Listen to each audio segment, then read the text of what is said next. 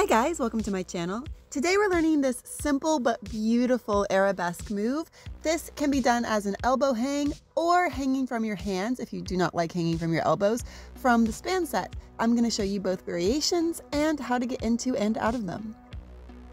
But first, as usual, the quick advert for my channel. Please, please do take a minute to like and subscribe to my channel. When you like my videos and subscribe, it really does make a huge difference with the YouTube algorithm and it helps me bring you more new aerial videos. So please take a minute to do that and I will really, really appreciate it. Okay, moving on to pro tips.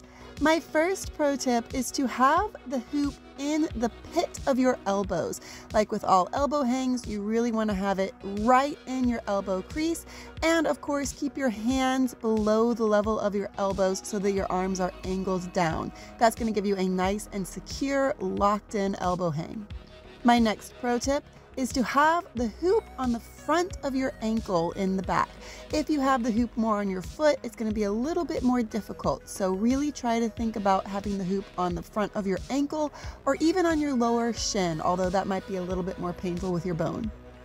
And my third pro tip is to keep your shoulders down. When you're hanging from your arms, especially in shapes like this, it's easy to let your shoulders come up, but that's gonna make you look really squished and uncomfortable. So keep your shoulders down for a nice, long, beautiful neck and a much prettier shape. And those were your pro tips, so now let's break it down. Start sitting in the hoop. Put both hands on top of the hoop, lift up one hip and tuck your opposite foot underneath your lifted hip.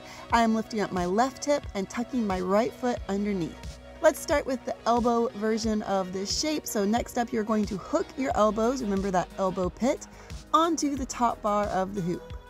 Bring your head around to the front of the hoop, and when you're ready, push your hips forward, sliding your weight off of the hoop and onto your elbows, and push your leg backwards. Think about an attitude if you're a dancer, an attitude in the back is kind of the shape you're going for. Finally, you're going to bring your weight back down to the center of the hoop by relaxing that back leg and bringing the hoop closer to your body. Slip the foot off the hoop in the back, then do a little lift with your shoulders and arms to bump your hips back up into a seated position on the bottom of the hoop. Now let's do the hands version. If you don't like elbow hangs, this will be a more comfortable version for you.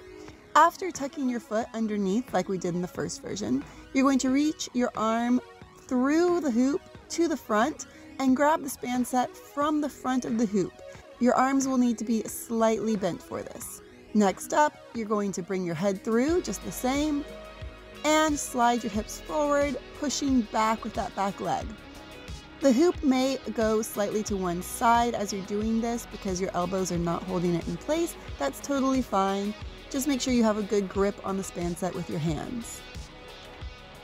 For this one, the transition out's a little bit different.